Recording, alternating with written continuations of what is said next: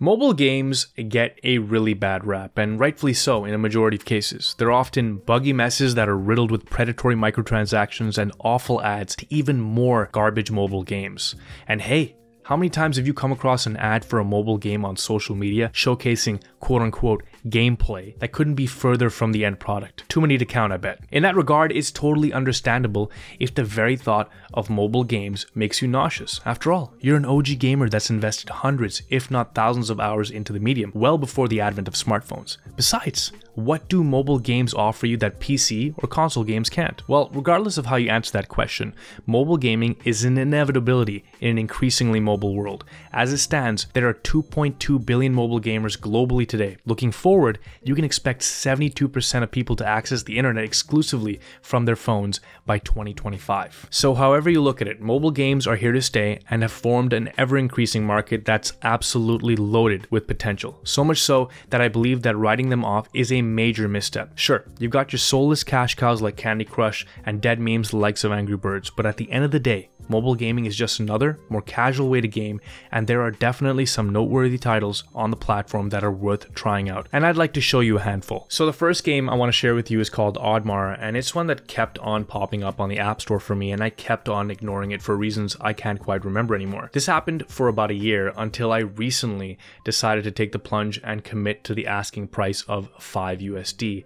And it's really interesting because mobile apps are interesting in the sense that we don't attribute much value to them, making the the more expensive ones seem like they're a little too pricey. But there's nothing too pricey about Oddmar nothing whatsoever. In fact, I would say that it's it's severely undervalued. This is a AAA platformer on your phone that's beautifully animated and voiced. Everything from the high energy Nordic score to the detailed environments is a clear indication of the love that was poured into this game, which was specifically designed for mobile devices. The game features zero in-app purchases and is quite possibly the closest you're going to get to a Rayman experience on your phone without it actually being Rayman. Just to give you a gist of what the game is about, you play as a fat orphan Viking named Oddmar who embarks on a quest to save his village and bring glory to his name. On his journey, you'll purchase new equipment, power through chase segments, make some nice friends, and utilize the power of shrooms. I mean, what's not to like? Just get this game. Or maybe a platformer on your phone really isn't your cup of tea, so perhaps you'd like something a little bit more zen, a little bit more thoughtful. If that's the case, then look no further than Mini Metro, an aesthetically pleasing game about building metro lines in a city of your choosing, be it Montreal, New York, or Hong Kong. And while Mini Metro is also available on PC, it truly shines on mobile devices, as that's pretty much where it was intended to be played at its core. In terms of difficulty, it can get pretty hard, especially when you gotta cart passengers from one end of the city to the other across across multiple lines. As far as I know, there is no win state, but the game does end if one of your stations exceeds its capacity limit. The game also features daily challenges and offers a plethora of options to customize your experience. So hey, if you're looking for something to play and potentially get good at on your daily commute, a quiet moment in the park, or a lazy couch day, then seriously, Mini Metro is for you. Then we have Duet, a game I wouldn't have even thought of picking up had a friend not gifted it to me. On face value, its minimalistic, shape based aesthetic isn't all that appealing, but the gameplay and audio will grow on you immediately. Play this with headphones and thank me later. The game tasks you with something simple. You have to navigate a blue and red ball from one end of the level to the other while moving them around in a fixed circle. Holding the right side of the screen causes the balls to move in a clockwise rotation, whereas holding the left side causes the balls to move in a counterclockwise rotation. It's one of those games that's easy to learn but hard to master as the levels end up getting faster and faster as well as more complex.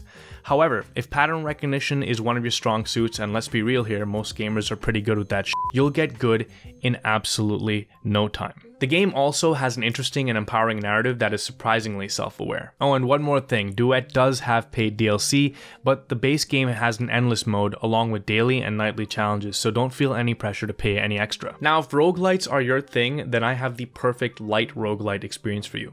Published by Devolver Digital, the company that everyone loves to love, Downwell is a really simple classic shooter style game that has you jumping into a well with gun boots that fire with every press of the jump button. That's it really. As expected, the levels get harder and harder as you upgrade your character, and the game offers you a variety of themes to reward your progression. Simple game, fun, easy to pick up, perfect for mobile devices. The next game I've got for you is, is really under the radar. It's called Dark Echo, a minimal audio visual experience where you, as the player, are only identified as a pair of moving footsteps in a dark and foreboding world. In Dark Echo, you navigate the levels by holding your finger over in a certain direction tapping the screen every now and then to emit more noise as to see where the walls are and eventually where the exit is. The game starts off easy but gets challenging once it implements a creature that chases you as you make noise. Dark Echo is best played alone, in the dark, and with headphones. Next up, we've got Alto's Odyssey, and look, I understand that endless runners are a dime a dozen on mobile devices, but Alto's Odyssey is a gem among them. It's a beautiful game that has you snowboarding across deserts, oases, and ancient temples, allowing you to rack up a decent high score by grinding on vines, wall riding cliff sides, and flipping off of jumps and various high structures.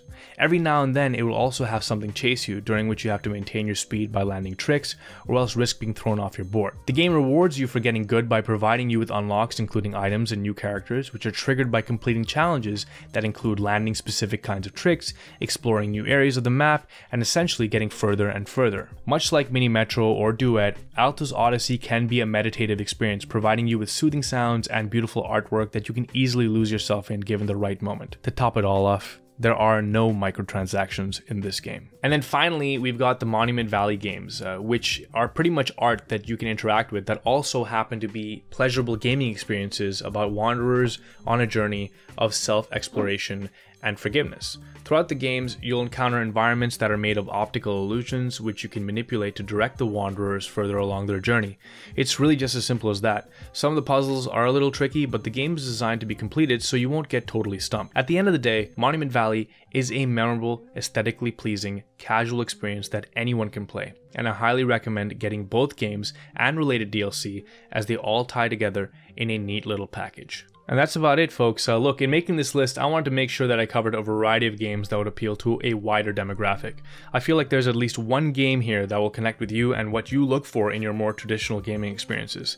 The games in this list are just that games, and although they aren't hardcore experiences, they are definitely capable of providing a significant amount of enjoyment while you're on the go, in your living room, or even on the toilet, especially on the toilet. I mean, everybody knows that we get the best high scores when we're on the toilet. Now, there were some other games that I wanted to add to this list, but had to remove due to time constraints. So, honorable mentions go out to A Dark Room, Plague Inc., Kingdom Rush, Hidden Folks, and a cute math game called Greg. Are there any games that weren't on this list that you feel deserve to be on this list? If so, let me know in the comments. I'd love to check them out. And hey, definitely let me know if you decide to pick up any one of the games I mentioned. As usual, I appreciate you watching this video. Feel free to leave a like, hit the sub button, and ding that bell icon so you stay notified every time I upload content. Of course, if you want to see me regularly and live, make sure to follow me on twitch.tv slash Mr. Bunty King. It's the best way to hang out with me. Until next time, I love you.